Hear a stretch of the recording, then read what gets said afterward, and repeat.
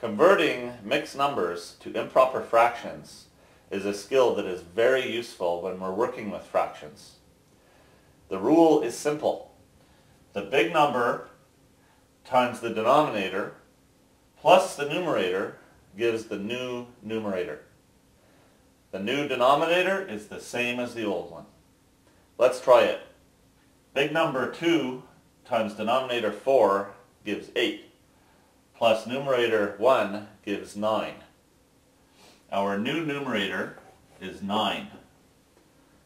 The new denominator is the same. It's a 4. 2 and a quarter is equal to 9 quarters. Big number times denominator plus numerator, in this case, gives 3 times 2, which is 6, plus 1 equals 7. Our new numerator is 7. The denominator remains the same. 4 times 6 is 24, plus 5 is 29. The denominator remains the same.